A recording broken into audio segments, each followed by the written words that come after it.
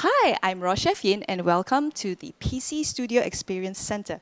Wanted to invite you to join us here on June 24th at 10:30 to 1:30 p.m. where you will get to learn healthy Italian raw vegan food. So for the appetizer, you will learn how to make Italian meatballs. For the main course, there's going to be fettuccine alfredo.